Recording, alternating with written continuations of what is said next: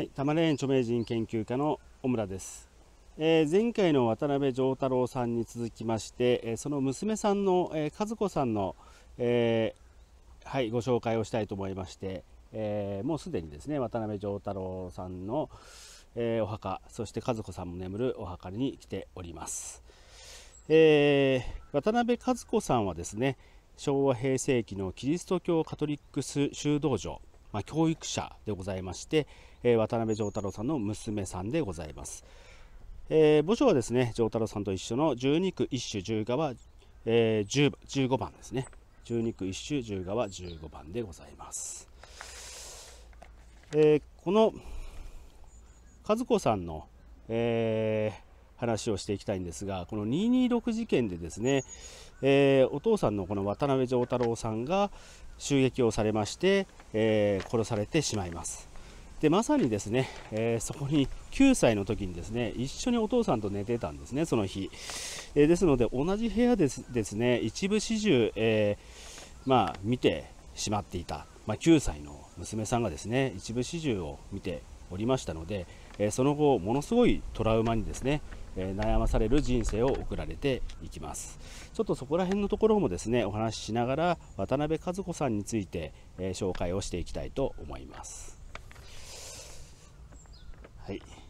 渡辺和子さんはですね北海道旭川市出身でございます。ちょうどお父さんの渡辺丈太郎さんがですね陸軍、えー、中将時代の時の旭川第7師団長旭川第七師団長であった時のこの赴任先でお生まれになりました。4人兄弟のですね末っ子の次女でございます。1936年2月26日昭和11年に成形小学校3年生の時にですねこのこの時9歳だったんですがこの時に226事件に遭遇をしております、えー、渡辺丈太郎さんのところででも紹介しましたが、ちょっと簡単にですね、えー、そこの226事件の様子をざっと紹介したいと思います。午前6時前にですね、えー、和室の布団で父と寝ている時に激しい怒号で、えー、怒号を聞いてですね目が覚めました。えー、その直前に内大臣であった斉藤誠さんをですね殺害した青年将校たちと、えー、部下の兵士の一団約30人が東京荻窪のですね、え、この渡辺家の前にトラックで乗り付けて門を開けようとしていたわけですね、え狙っているのは渡辺丈太郎さんの、えですそしてその日、え父と一緒に布団で寝て、えいたこの和子さんですがこれは何か襲撃と察知した渡辺丈太郎さんはですねこの娘の和子さんをすぐにですね座卓の陰に隠しました。そして、えー、茶の間の方からですね青年将校2人が2人高橋太郎少尉と安田豊少尉この2人がですね入ってきました。8畳ぐらいの寝室でもう銃撃戦がですね繰り広げられました。そしてこの渡辺丈太郎さん1人に対して43発の弾を撃ち込みで最後は軍刀でとどめを刺して襲撃隊は引き上げました。この一部始終をですね、えー、に遭遇した、えー、和子さんは襲撃部隊が去った後にお父様と呼んだわけなんですがもうやはり43発も弾打ち込まれておりますのでその場でもう絶命しており事切れておってですね、えー、何の返答もなかったと、えー、回想されております。身を隠していた座卓にもですね、えー、銃痕の跡が残っておりまして、まあ、この座卓がとっても頑丈な座卓だったためにですね貫通することがなかったのが、まあ、不幸中の幸いでございました。ただ目の前でですねお父さんが殺害された9歳の和子さんが背負ったトラウマはですねこの後、えー、長く続いていきます。清家はですね浄土真宗だったんですがこのお母さんがですねこのお父さんを失った、えー、娘の将来を悲観してキリスト教の、まあ、カトリックの双葉高等女学校に入学をさせました。和子さんはその、えー、学校でですね献身的な修道女の姿に感銘を受けてそして1945年昭和20年に18歳の時に洗礼を受けます。その後精神女子大学や上智大学で学び29歳の時に、えー、ナミュール・ノートルダム修道女会に、えー、入会をされます。そしてアメリカに留学されましてボストンカレッジ大学院で哲学の博士号も取得されております。帰国後はですねノートルダム清心女子大学教授となりなんと36歳の若さでですね岡山県の、ノートルダム清心女子大学の学長に就任をされます、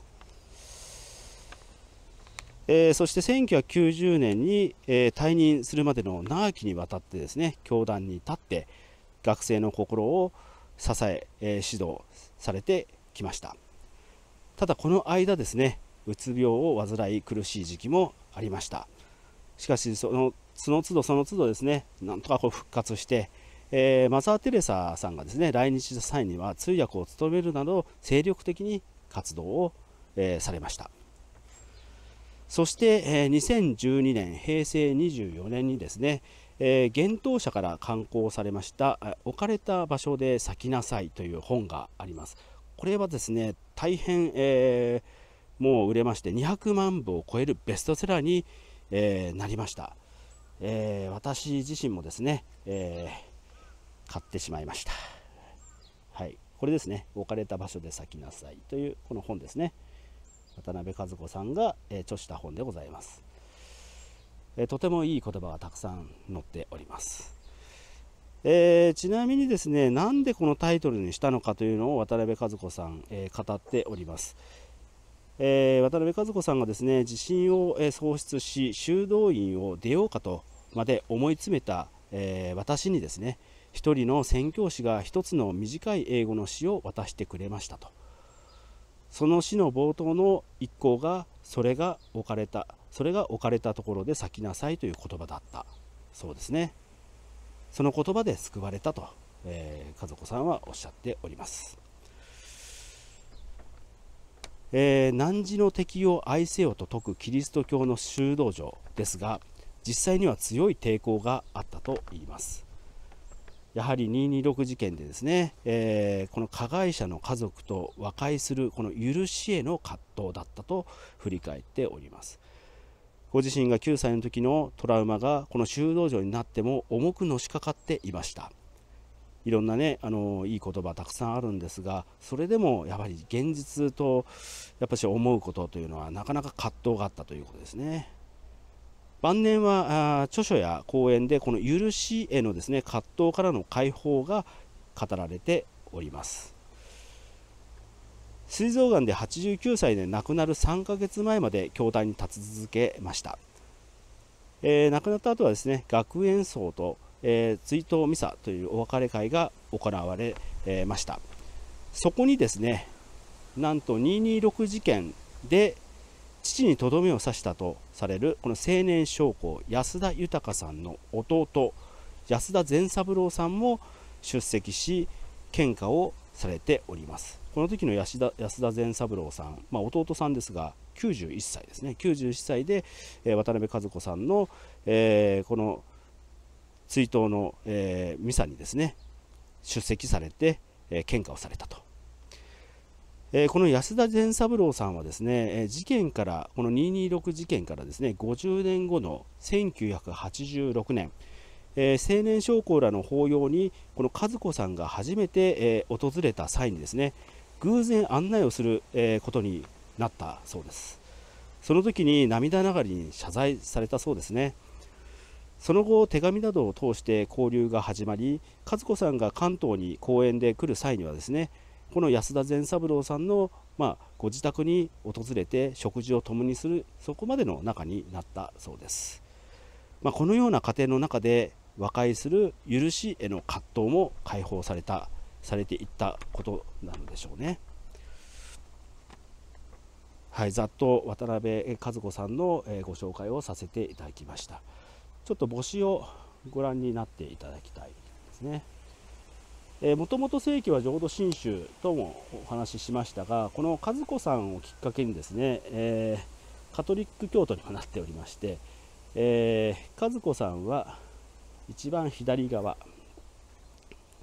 今刻まれている中での一番左側シスター・セント・ジョンと和子と刻まれてますね。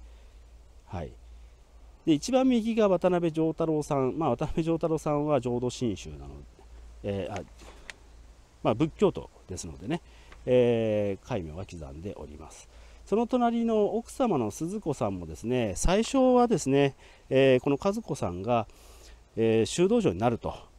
言った時にもう大反対したんですね、まあ、一応あの心のケアでですねあのカトリック系の学校に娘を入れたわけではあるんですがまさか修道場になるとまでは思っておらずですね、えー、鈴子さん大反対だったそうですね、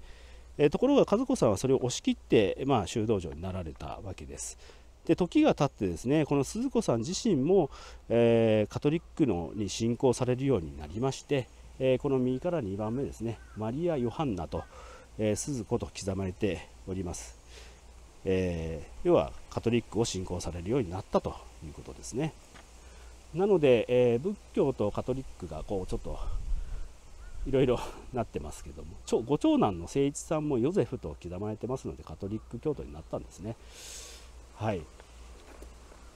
こういろいろあります。ちなみにこの和子さんは生涯独身を貫いたということで、えー、ございますのでこの渡辺、えー、家のお墓に眠っております。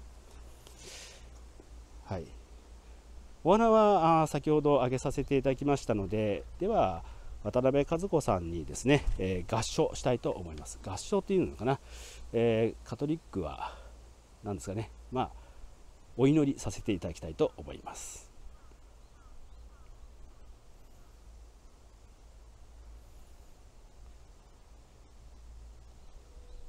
はい、えー、渡辺和子さんのご紹介でございました。以上になります。